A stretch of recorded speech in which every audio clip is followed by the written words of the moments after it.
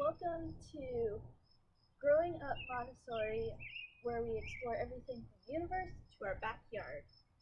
We've been working really hard in our yard to make it look nice for summer, and our mom thought it'd be a fun treat if we got to go to our local nursery, Sculptured Gardens, to pick out some flowers and uh, design our own pots. In my pot, I have a Beth's Blue Star flower. It grows to be about a foot tall, and you don't have to deadhead it, and it's full sun. It's really easy plant. And I also have a Super Bina Royal Chambray, and it's a trailer, so it doesn't get tall, but it trails over the edges of the pot. And you don't have to deadhead this also. And it's just really pretty. Last one, I have uh, silver thread. The growing habits of this is super cool, and it's just a really pretty color. For my pot, my centerpiece is going to be the da Dahlina uh, Grand Tequila Dahlia. It, I really liked its bright color, and it it gets kind of tall, about a foot and a half. And my I'm going to deadhead this because when you deadhead it, it encourages more blossoms. And the reason I chose such a bright color was because my plant that's going to go around is called uh, Crazytunia Black Mamba. When we were at Sculptured Gardens, I saw the almost black petunias. They're actually very deep purple. Uh, you can kind of see that when the light shines through them. But I had never seen this dark of a color before on a petunia, and I thought it was really interesting, and I wanted thought it'd be fun to try it out with something. And then to fill in the rest of the space, I'm going to use a coleus that we grew from a cutting in a biology class, and we're going to see how that's going to turn out. Start by moving our plants so- so they're not in the way while we start loading or filling our pots with soil. We mix the soil by ourselves with peat moss, vermiculite, and compost.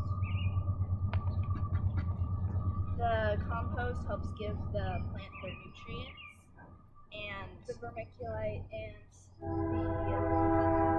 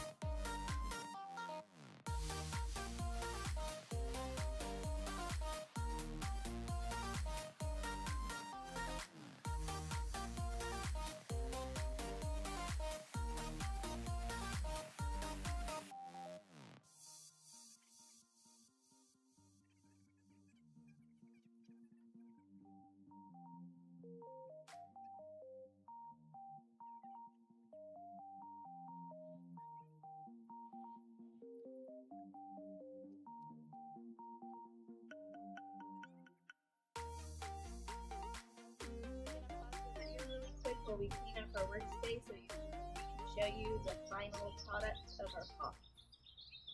We have finished cleaning up our area and these are our final pots. Uh, Abby's with the Cool shades. And, Selena's with the my black mamba and the dahlia. Um, we're, they are both going to get full sun. They're going to be sitting on a patio which gets sun from sunset to sunrise. sunrise to sunset. And we're going to have to make sure they're watered well every day. Uh, about the tags we were using earlier, we like to keep them in case we want to use these flowers again for next year. So put them in this bag, and we're only putting one of each in so it doesn't get cluttery in there. So we'll put this in there. And. Lots of other projects going on, and we'd like to share them with you. Um, we might give you a tour of the garden, and we are planning to dig up a corner of the yard for some more planting space for vegetables. and we're hoping to show you that as well. This is our shade garden that we'll also show you in the tour. Uh, yeah. Thank you for watching our video. We hope you enjoyed. Please leave a like below if you enjoyed our video and, And share. uh, remember, we're growing up Montessori, where we explore everything from the universe. To our backyard.